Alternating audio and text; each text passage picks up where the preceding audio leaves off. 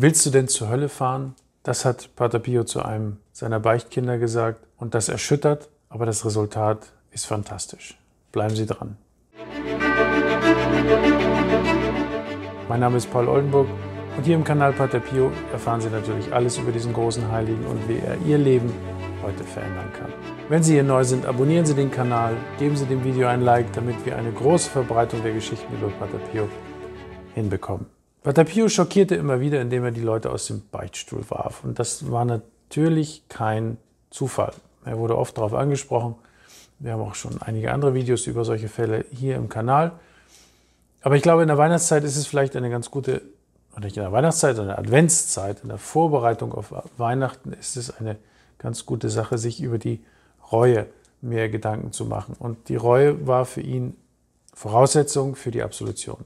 Ohne Reue äh, gab es keine Absolution und er wurde, der oder sie, aus dem Beichtstuhl herausgeworfen und, und es wurde gesagt, du kommst wieder, wenn du Reue hast. Aber wir sehen an diesen Geschichten, dass diese Reue auch nur eine Gnade ist und diese Gnade, um die können wir bitten. Und gerade in der Vorbereitung auf Weihnachten, auf das Kommen unseres Erlösers, dieses kleinen Kindes, das uns alle von der Hölle erlösen wird, ist es wichtig, damit wir es mit reinem Herzen empfangen, dass wir lernen, dass wir um Reue auch bitten können. Denn vielfach, ich glaube, jeder kennt das, begehen wir Sünden und wir sind uns gar nicht darüber so sehr im Klaren, wie wir Gott, wie wir Jesus verletzt haben damit und wie wir ihm wehgetan haben.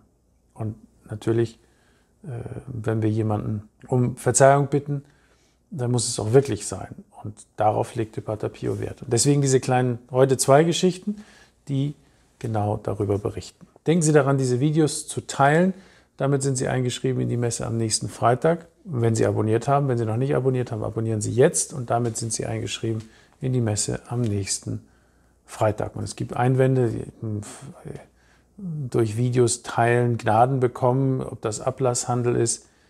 Es ist unsere Intention, alle diejenigen, die sich aktiv an diesem Apostolat betreiben, beteiligen, die sind eben eingeschrieben und die sollen bedacht werden, derer soll gedacht werden in der Messe, die wir lesen, jeden Freitag. Darüber brauchen sich die Pater Pio Schützlinge keine Gedanken zu machen, das wissen sie, denn die äh, haben ihre Messe jeden Freitag, die sind automatisch eingeschrieben und die brauchen sich nur die Intention zu formulieren. Wie Sie Pater Pio Schützling werden können, schauen Sie in den Link unterhalb des Videos. Auch Probo Vaccarini hat eine gewisse Zeit im Wartesaal in Anführungszeichen verbringen müssen, bevor er ein geistiger Sohn von Pater Pio wurde. Aber der Pater hatte ihn gerufen. Gerufen wahrscheinlich, weil er eine Geschichte gehört hat über Pater Pio. Wahrscheinlich hat er ein Bild gesehen. Das sind die normalen Wege, wie Pater Pio jemanden ruft. Denn die kommen meist von weit her. Und diese Neugier, die Pater Pio in diese Herzen hineinsetzt, drängt sie dazu, zu Pater Pio zu kommen. Und das ist alles, geht alles von ihm aus. Natürlich, die Gnade kommt aus dem Herzen Jesu und durch die Mutter Gottes zu diesen Seelen. Aber das ist immer der Weg. Und deswegen müssen wir diese Bilder verteilen in ganz Deutschland und überall da, dort, wo, äh, wo man uns versteht. Denn diese Bilder haben genau diese Kraft. Vielleicht nicht beim ersten Mal, vielleicht nicht beim zweiten Mal, aber dann passiert irgendwas und Pater Pio arbeitet in den Herzen bestellen Sie jetzt die Bilder, falls Sie sie noch nicht haben. Sie sind umsonst, sind von einem Priester gesegnet. Sie können sie bestellen und damit haben Sie sie zu Hause und können Ihr Apostolat machen.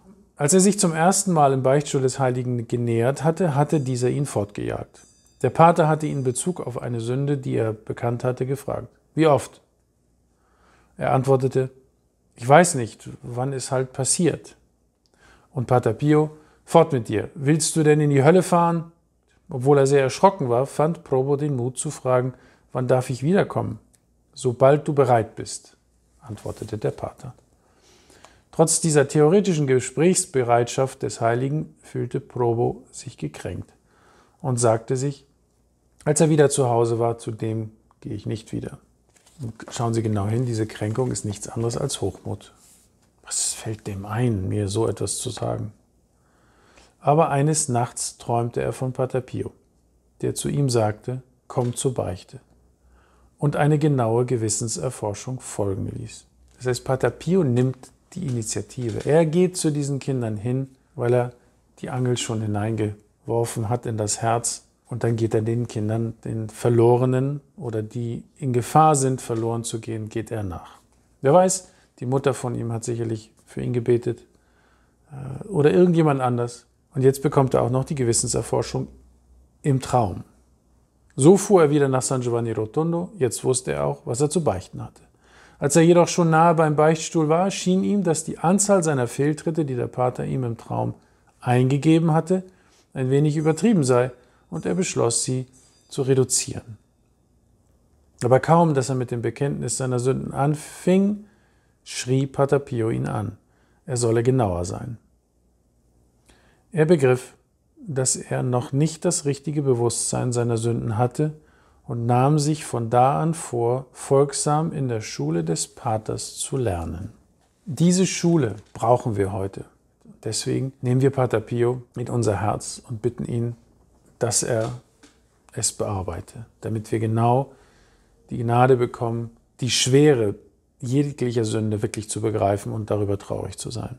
Ein weiterer Fall, auf eine ganz eigenartige Weise hat der Pater auch Lorenzo Barale aus Turin von seiner Absicht abgehalten, nicht wieder nach San Giovanni Rotondo zurückzukommen. Lorenzo erzählt.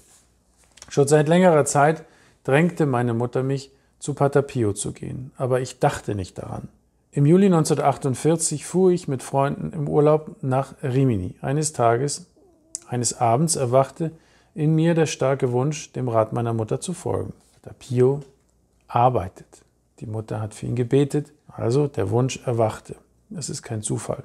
Und den heiligen Kapuziner kennenzulernen. Ich sagte allen, die bei mir waren, dass ich am nächsten Tag nach San Giovanni Rotondo fahren wolle. Ich lud sie auch ein, aber keiner wollte mit. Ich fuhr also zum Gargano und ging wenige Tage später zur Beichte. Padre, ich habe geflucht, lautete die erste Sünde, die ich bekannte. Kaum dass er das hörte, schrie er mich an, weg mit dir. Ich stand auf und stellte mich ganz nach hinten in die Sakristei. Ich versteckte mich fast unter all den Menschen, die sich um den Beichtstuhl drängten.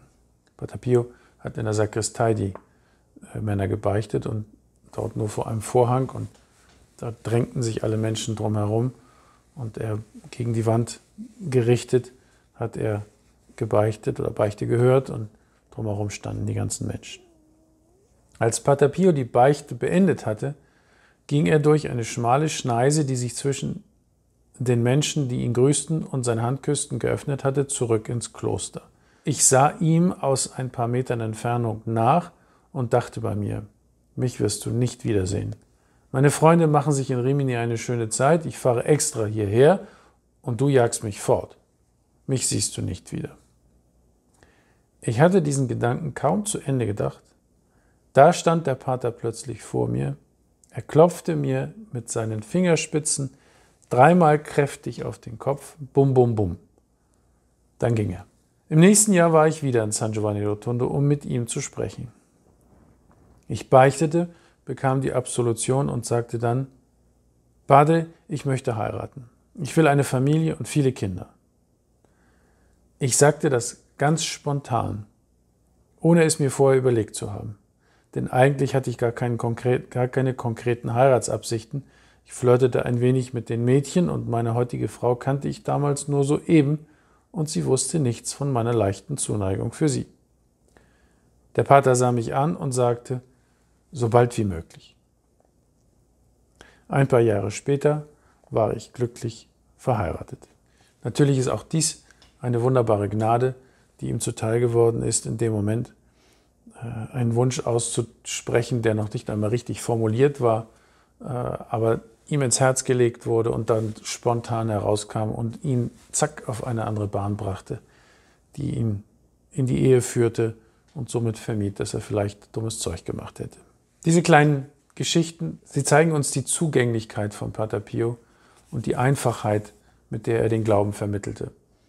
Und die Reue ist ein wichtiger Bestandteil bei der Beichte und ein wichtiger Bestandteil auf dem Weg zur Heiligung, denn dann weiß ich wirklich, wo die Dinge liegen. Wenn ich immer dieselben Sünden habe, aber nie wirklich traurig sind darüber, dass wir sie falsch machen, dann werden wir sie auch immer wieder begehen, wir werden sie immer wieder beichten, aber wir kommen nicht weiter.